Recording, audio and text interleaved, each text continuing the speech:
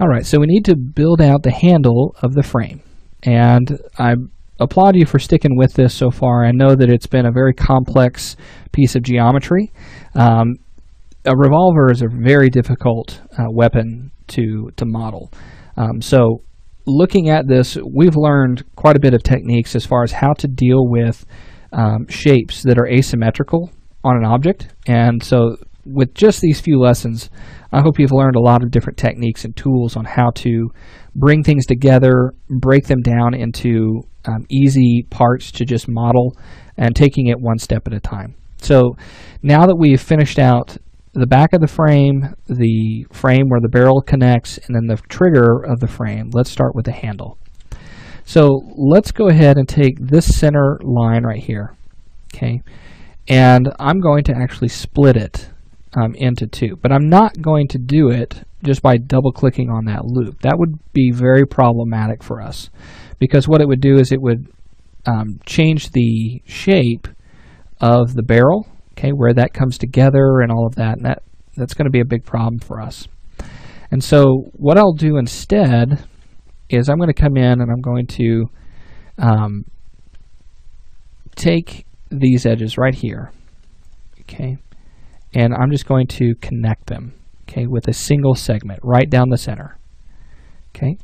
And then I'm going to take these two edges right here and I'm going to trace that around all the way to here. Now before we do that let's make sure we get these um, four edges and let's connect those as well just like what we did before.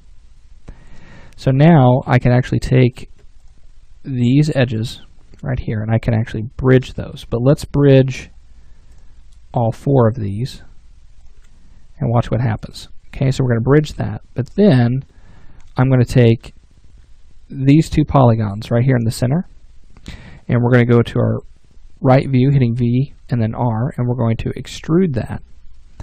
And what I'm going to do here is I'm just going to extrude that out, and let's take these vertices here, let's bring that down here, and take these, bring them down here. Now I'm going to select all of those across the bottom because I want those to be straight across. And let's go ahead and make those planar in the Y direction. Okay. So now I need to get the curvature of the handle. So let's go V and R and let's add in some segments. I'm going to go ahead and go to edge mode and select that edge ring. Okay. And then let's use connect. Let's add in, let's do three segments. That should give us plenty double click on this loop. Actually, let's just go to vertex mode and hit Alt X. What I'm going to do is I'm just going to pull these vertices out to the edge of my reference image, and that should match it up pretty well. Do the same thing on the inside, don't forget that. And just match it up the best that you can. Let me go ahead and pull this handle up just a little bit more. And this one as well. I just want to kind of make these polygons evenly spaced. Now, what we're going to do, let's hit Alt X. Now what we'll do is we'll go ahead and we'll reconnect all of this. So let's go to Edge mode. And I want to select all of these edges. Okay, make sure we get both sides.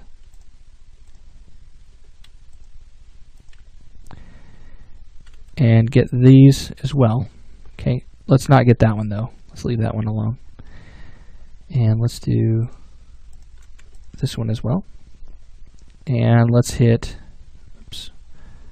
Get this one. Yeah, it's not the right one. There we go. Yeah, there we go. Let's do this one too. Make sure that it selects that edge that goes all the way across there. And let's do connect. Let's just do two segments on this one. And then let's use our pinch, spread that apart to where it's pretty even uh, to the existing segments. Um, if it's not right on, you can always slide that to move that into position. Get it fairly close. So something like that. All right, good. So hit OK on that and then go to vertex mode and let's go ahead and target weld um, this vertex to here and this one to here. Okay. Do the same thing all the way across both of those. Try it one more time there. Okay, great. All right, so there we have the handle now we have a little bit of an issue here. We have this um, this polygon right here that's a five-sided polygon. How do we get rid of that? I don't want to create these segments that go all the way through, okay, in this case. Um, so what I'm going to do is I'm actually just going to build an end here, okay. So let's do, let's select these two polygons. Actually, you know what, let's select these two edges. And let's go to loops, and let's say build end. And, well, it doesn't like that one.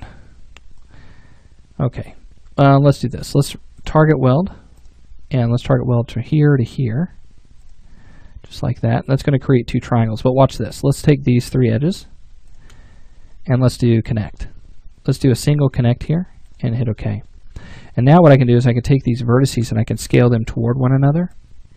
And now I get this inset, this loop right here. And that's going to be very, very helpful. Okay, good. All right, let's do the same thing here. Let's do target weld here to here. Okay, and then select these three edges. And let's make sure that we have just the three. Let's do connect. And then take the vertices and scale those in toward one another. Very good. All right, so there we have our frame built.